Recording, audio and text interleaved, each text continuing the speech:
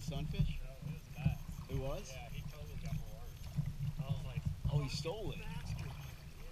Yeah, dude, I've had like three of my baits stolen, and two of them have been like the expensive KVD baits.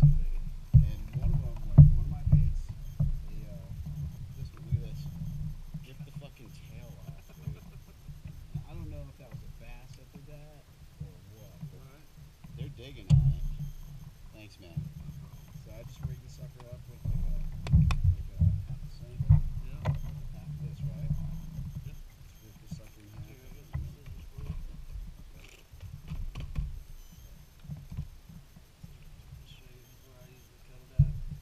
Cut it right below this line. Oh, nice. Okay. Yep.